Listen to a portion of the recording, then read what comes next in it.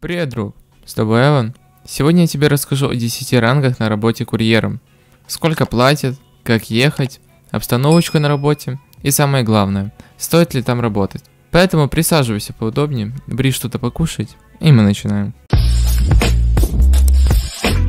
А перед началом данного ролика я хотел бы вам порекомендовать канал начинающего ютубера Посмотра Rage. Он старается над контентом и снимает видео для начинающих игроков. Давайте подпишемся на его канал, поскольку для него аудитория очень важна и она дает очень дикую мотивацию для улучшения качества и количества контента. Ссылка на него будет в описании ролика. Парень собирает маленькую семью в большом мире GTA.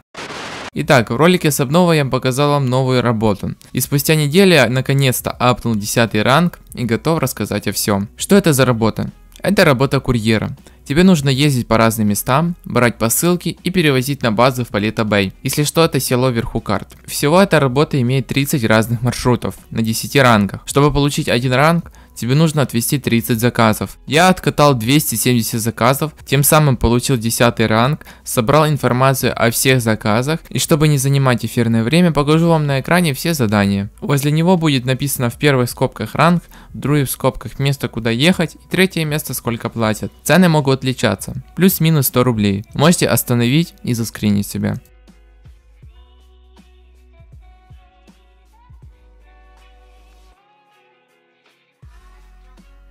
Зарплаты вы посмотрели и, наверное, в шоке, что так мало, как и я. Но это не все. Перейдем к главным вопросам. Первое. Сколько я заработал, чтобы поднять 10 ранг? Всего заработал денег. Поправочку. 3 миллиона 240 тысяч рублей. На каком рейсе откатал? Ездил только на органических удобрениях. Э, один рейс занимал около 4-6 минут. Третий вопрос. Сколько времени я потратил на это? Чтобы получить 10 ранг, я потратил около 23-28 часов игры. Стоит ли работать здесь? Мое мнение нет, лучше на дальнобойщиках. И адекватнее люди там, и больше платят. Пятый вопрос. Масло и пересадка во время работы не расходуются? Нет, не расходуется. Бензин расходуется? Э, да, бензин расходуется, но он расходуется в минимальном количестве. Штрафы получал? Да, получал. Где-то около 300 тысяч рублей у меня ушло на штрафы. А также многие мне спрашивают, Эверон, скажи, а что лучше возить на четвертом ранге, что лучше возить на шестом ранге. Как бы мне это не хотелось говорить, но э, лучше увольняйтесь, идите работать дальнобойщиком. За это время вы сможете намного больше денег заработать, э, чем будете ездить именно здесь. Давайте посчитаем, сколько же выходит э, зарплата для первого ранга на этой работе.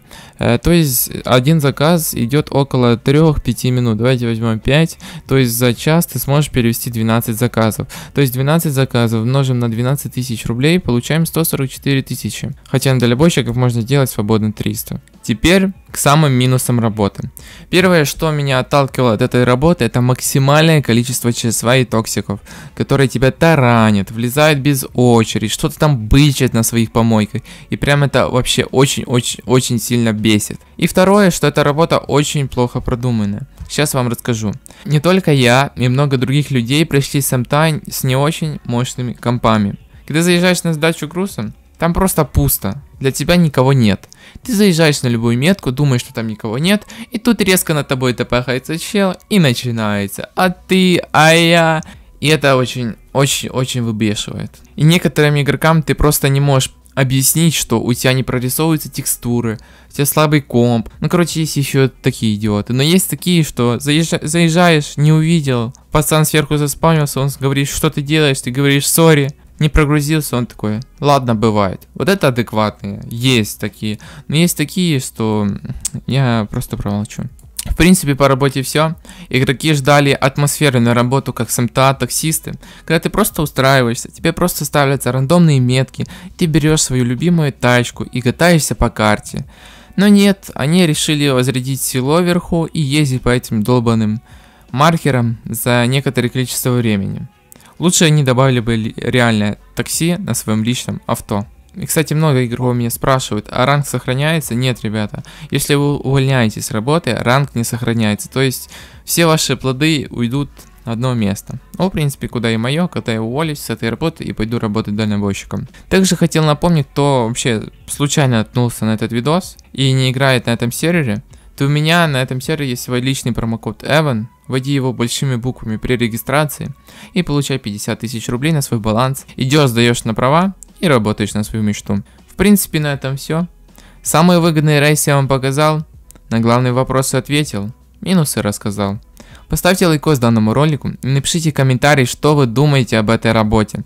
Тем самым вы поможете продвинуть этот ролик в топ, и о нем узнают многие. Также не забывайте оформить подписку, ведь 88% людей смотрят этот видос без подписки. Давай, братанчик, исправим этот момент, а то дальше как-то не пойдет. Я же думаю, меня смотрят самые лучшие челики на этом сервере.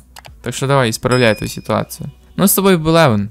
Всем желаю хорошего дня, всем удачи и всем пока-пока.